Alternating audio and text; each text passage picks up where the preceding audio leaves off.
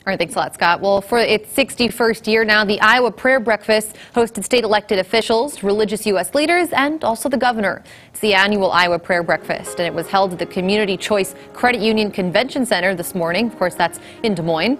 This year's event was another full house. Breakfast takes place every year on the Thursday ahead of Easter to pray for guidance for Iowa's leaders. During the event, Governor Kim Reynolds spoke about the struggles of the Ukrainian people and how everyday people rise to the occasion during times of struggle.